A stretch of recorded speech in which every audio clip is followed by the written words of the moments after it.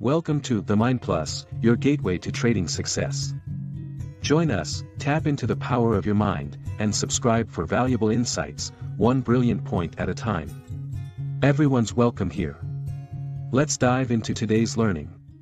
Keep a trading journal. A trading journal is a record-keeping tool where traders document their trades, strategies, and emotions associated with each trade.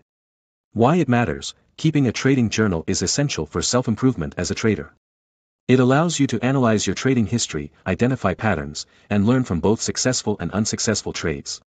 By recording your emotions and thoughts during trades, you gain insights into your psychological reactions, helping you make adjustments to your trading plan and strategy. How to do it, start by creating a digital or physical journal to document your trades.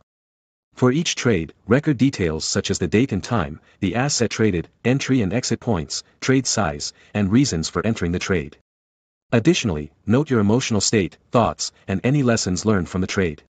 Regularly review your trading journal to spot recurring mistakes, identify areas for improvement, and track your progress over time. A well-maintained trading journal can be a powerful tool for enhancing your trading psychology and performance.